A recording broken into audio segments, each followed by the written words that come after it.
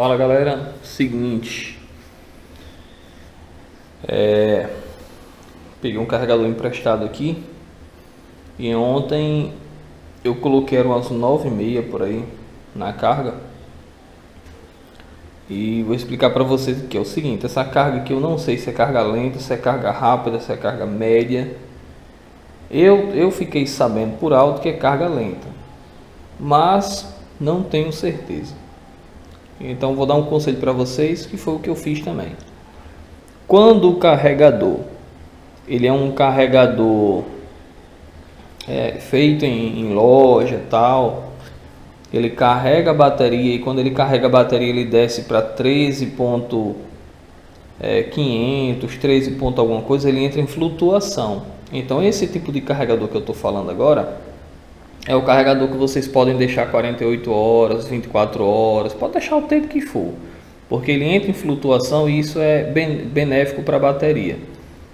Enfim, finish esse assunto, para não enrolar a cabeça de vocês. Eu só quero dizer para vocês isso, para que vocês não fiquem, pô, mas deixa muito tempo, deixa pouco tempo. Já sabe.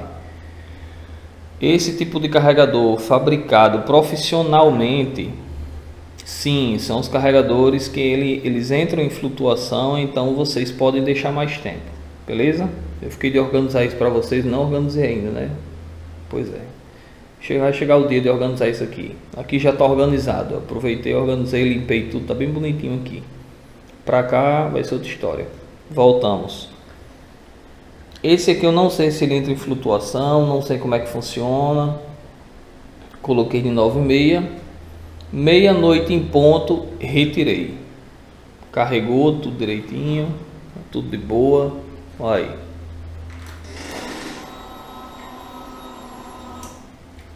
Certo? Agora, testar para ver se vai dar partida. Porque eu tô, tô achando que foi realmente a bateria. E eu vou explicar o porquê que essa moto não, não deu partida quando eu precisei dela. Tá? É, eu andei falando com o antigo dono, como falei ainda agora atrás, né, no vídeo. E ele me falou, Márcio, essa, essa moto precisa de uma corrente X, de uma força X para ligar. Embora que ela gira o motor tal, fica naquela solva, salva, né, como vocês falam, fica e não liga. Ela precisa de mais potência, porque ela depende de, um, de uma certa rotação para se comunicar com os sensores e mandar tanto a, a faísca quanto a injeção, né? Faísca e injeção. Ela injeta e manda faísca. Então ela precisa, ela depende de uma certa rotação, de uma certa potência para ela concluir essa etapa.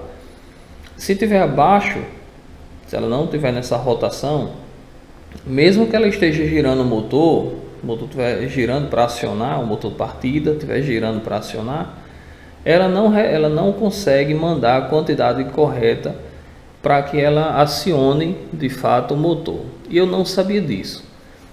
Porque eu tive a Hayabusa e a Hayabusa, mesmo com a bateria fraca, ela conseguia é, acionar. Mesmo com a bateria zona cansada, ela conseguia. Já aqui não. Então, para quem tem essas red K3, K4, K2, quem tiver já sabe. A bateria der uma, uma fracadazinha der uma, uma, perca de potência, por menor que seja, não estiver batendo no, no, nos padrões da moto, ela não vai ligar. Ela vai ficar só. E vocês vão ficar achando que é outro problema, como eu achei. Eu fiquei pensando que era ECU. Pronto, detonou minha ECU, ferrou já era e comecei a ficar aperreado aqui, porque para comprar um ECU dessa eu teria que comprar ECU e já teria que aproveitar e comprar o chicote, eu tô zero de dinheiro. O Pix está aí embaixo, se quiser entrar com ajuda, tamo junto. E aí eu fiquei naquela preocupação, disse, pronto, ferrou, ferrou, ferrou, bonito. Vou ter que encostar o Ice Head. E aí não, aí conversa vai, conversa vem, peguei uma... Enfim, vocês viram aí no vídeo passado. E aí decidi pegar o carregador de bateria, colocar e ver o que é que vai rolar, né? E dei essa carga.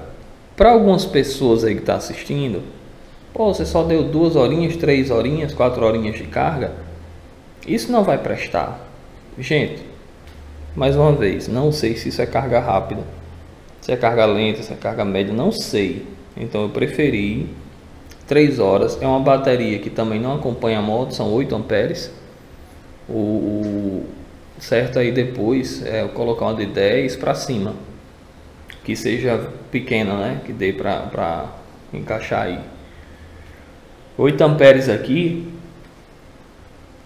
Se você der uma partida e ela não ligar, a outra já vai ficar duvidosa, né? Então é ligar a primeira partida e pronto. Bem, então, sem muitas delongas, tá aí, já descobriu o problema. Carga insuficiente na bateria não dava partida. Mas agora eu quero saber o porquê foi que essa moto riu a bateria. Tem vários motivos, né? Mas eu quero saber o porquê foi que ela perdeu potência na bateria. Eu saí para, eu ia sair para visitar o meu pai. Quando eu dei na partida, a moto só só arranhava, arranhava, arranhava, arranhava e nada de funcionar. Eu encuquei, né? Mas graças a Deus não era nada, não era só bateria. Então agora vamos fazer o seguinte. Eu vou tomar café, vou concluir as coisas, não sei, vou colocar as carenagens, né? Tenho que ver isso logo. E aí eu vou fazer um, um, um teste. Eu vou pegar vou, uma oficina de algum colega meu por aqui e vou testar quanto é que essa moto está gerando. Se ela estiver gerando 14, 13,80, aquela fuleiragem, 13,500 14 uns quebrados, de 13.500 até 14 já é o suficiente para carregar essa bateria. Então, se estiver gerando isso, beleza. Corresponde que a bateria ela já está indo para o saco. Já faz um ano né, que tem essa bateria na moto. Então, essa bateria já está indo para o saco. Porque se o negócio está gerando direito e a bicha não está armazenando, então é a bateria. E caso contrário, se não estiver gerando direito, aí Vamos ver o retificador ou o senhor bonito estator ali, certo? Então vem comigo. Bora ver agora? Vamos ver, vamos ver. Era a bateria. Foi só ticar. Pois é, galerinha. Batera, batera. Agora só resta saber se tá gerando, né? Como eu tô saindo mais cedo pra academia agora, eu vou passar logo na oficina e tirar essa dúvida.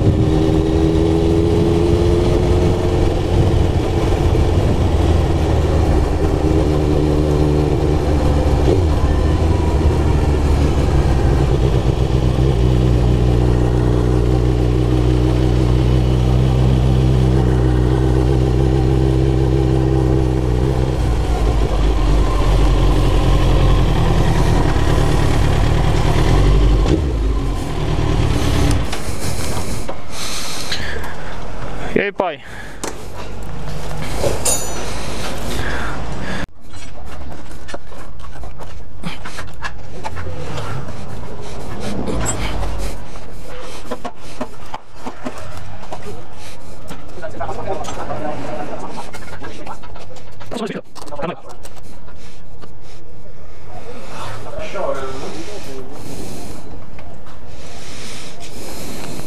Vem cá, pai. Segura essa bateria, segura essa a embreagem, a embreagem. Que é embreagem, pô. Segura aí.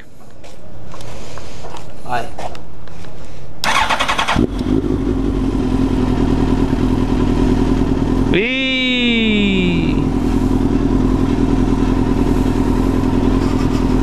fudeu.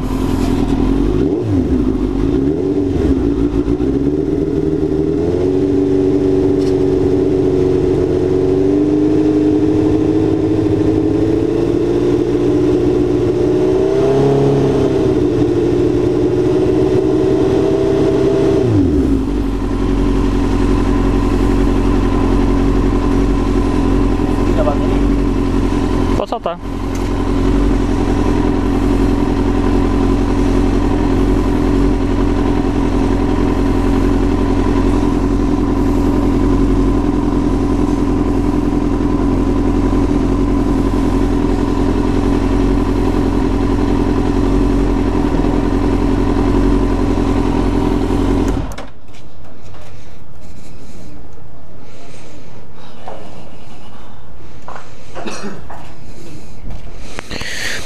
Temos um problema. Temos um BO. Bateria. Não.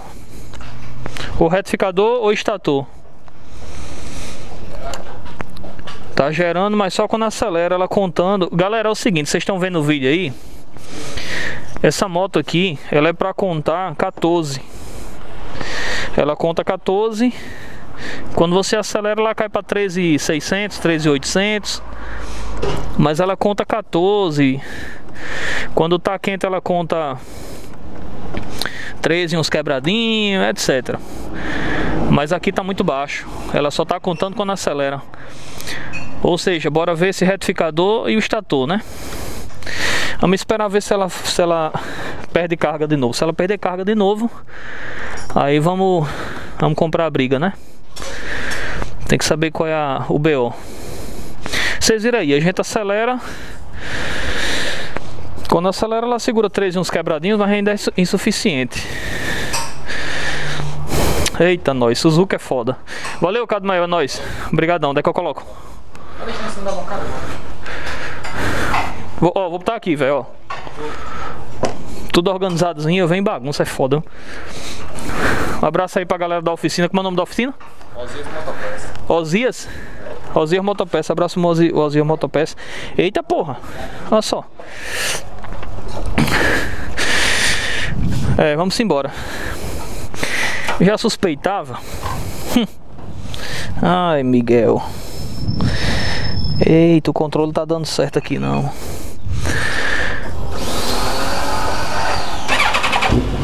Pois é, galera, é o seguinte. Isred, se ela cair a tensão, já era. Cair a tensão, ela não vai andar que preste. Pra falar a verdade, ela não dá nem partida.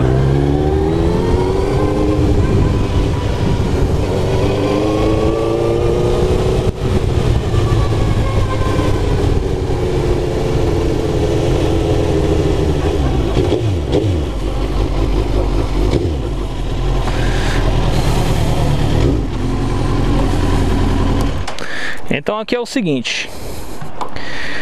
Aqui é não ficar dando bobeira com essa moto em baixa rotação, né? Como eu tô vendo aqui já, como eu tô vendo já aqui que em baixa rotação ela tá, não tá gerando legal, né? Ela contando, como eu falei pra vocês, é pra tá 14, 13 uns quebradinhos, 14, 13 uns quebradinhos, enfim. Não tá. Aí liguei, ficou em 12, 12, 12. Mas eu vou testar em outro multímetro. Sair daqui, eu vou em outro cara. E vou testar em outro multímetro, porque eu sou teimoso. E aí eu vou ver o que é que vai rolar. É, felas. Então é nóis. Espero que vocês tenham gostado do vídeo aí. Não sei se tá curto, se tá longo, não sei como é que tá aí. Mas vão se preparando porque agora eu vou, eu vou passar a colocar vídeo longo pra vocês, viu? Porque uma pessoa já me pediu, quer dizer, algumas pessoas já me pediram, Márcio, joga, joga vídeo longo. Que às vezes o cara assiste, aí só quebra o vídeo no meio, 10 minutinhos, aí depois volta de novo com outro vídeo, aí quebra de novo, é chato. É melhor fazer logo um grandão. Né? Joga a conversa aí que a gente assiste. E hoje em dia realmente, galera, é, o pessoal tá deixando o, a TV de lado e tá optando pelo YouTube, né? Então Vou começar a jogar muita coisa pra vocês aqui. É, fiz uma limpeza aqui no cofre, limpei, fiz umas, umas paradas pá.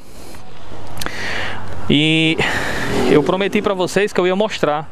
E eu peço até desculpa porque não rolou, eu tava, eu tava preocupado com a moto, eu pensava que ia dar um chabu, né? Isso aqui é pra quem? Ah, eu acho que tem alguma coisinha aqui para segurar, ó. Depois arrumo. E aí eu tava pensando que era um chabuzão, não foi, graças a Deus. Pensei que era esse U da moto. E bem, prometi e não cumpri isso aí, então tô devendo. Depois eu vou levantar de novo isso aqui. Vou fazer uma limpeza. Lembrando, fiz limpeza de bobina. É, limpei bobina, passei WD, tudo, pá, tudo tá tudo bem bonitinho, né? Limpei os contatinhos para os bicos injetor, tá tudo limpinho também. É, não fiz a limpeza dos bicos no, no é, como é que eu falo, senhor? Na, nas máquinas não fiz. Fiz usando, usando o WD e foi só nos contatos. Os bicos original dela ainda não desmontei, não mexi em, em nada disso não, foi só no, nos plug.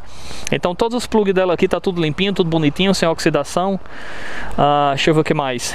Sim, o filtro de ar tava, tava... Porra, eu fiz duas viagens na moto, três. O filtro de ar tava podre, velho. Podre, podre, podre, fuderoso. Já limpei, já tá no canto, tá de boa. Beleza? Então o filtro de ar já tá de boa, a caixa de ar também foi limpa. Ah, ah velho, fiz uma limpeza do capiroto aí. Limpei tudo, muita coisa. Aí falta essa parte de trás. Essa parte de trás aí eu tô pensando como é que eu vou fazer. Porque a ECU, ela tem um fiozinho soldado. Então não tô, não, não tô conseguindo... É, eu não tô, não tô conseguindo chegar num pensamento assim de, de colocar, de fazer o, o, Como é que eu vou tirar isso aqui? Não, tô, não tá chegando na minha cabeça. Eu preciso de mais paciência para fazer isso aí. E a moto tá suja, né? Então é nóis. Se inscreve no canal, não deixa de se inscrever.